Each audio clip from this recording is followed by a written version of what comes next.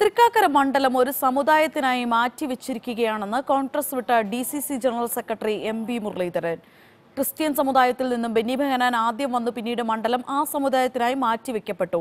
ഉമയുടെ സ്ഥാനാർത്ഥിത്വം മണ്ഡലത്തിലെ നേതാക്കളോട് കൂടിയാലോചിക്കാതെയാണ് സ്ഥാനാർത്ഥിത്വത്തിൽ കോൺഗ്രസ് നേതാക്കൾക്കും പ്രവർത്തകർക്കും നീരസമുണ്ടെന്നും എം വി മുരളീധരൻ റിപ്പോർട്ട് ടിവിയോട് പ്രതികരിച്ചു.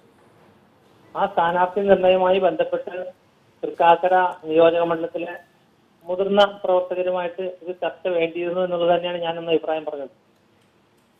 അപ്പൊ അങ്ങനെ ഒരു ചർച്ച അല്ല അത് സംസ്ഥാന ഇലക്ഷൻ ചെയ്തു. ആരുമായി ഒരു പ്രത്യേക അഭിപ്രായങ്ങൾ പറഞ്ഞില്ല. അതുകൊണ്ട് ആ സ്ഥാനാർത്ഥിയെ തീരുമാനിച്ചു എന്നുള്ള രീതിയിലാണ് പിന്നീട് അതിനുള്ളൊരു വിശദീകരണം എനിക്ക് കിട്ടിയത്. തൃക്കാക്കരയിൽ സീറ്റ് ഒരിക്കലും ഒരു എന്നെ പോലെ ഒരാൾക്ക് ലഭിക്കില്ല എന്നുള്ള കാരണം ഇത് കെ ബാബു തൃപ്പൂണിത്തരായിരുന്നപ്പോഴാണ് ഈ നിയോജകമണ്ഡലത്തിൽ മത്സരിച്ചത്. അതിനുശേഷം തൃക്കാക്കരയും തൃപ്പൂണിത്തരായി മാറിയപ്പോൾ ബാബു തൃപ്പൂണിത്തരയ്ക്കാണ് മാറിയത്.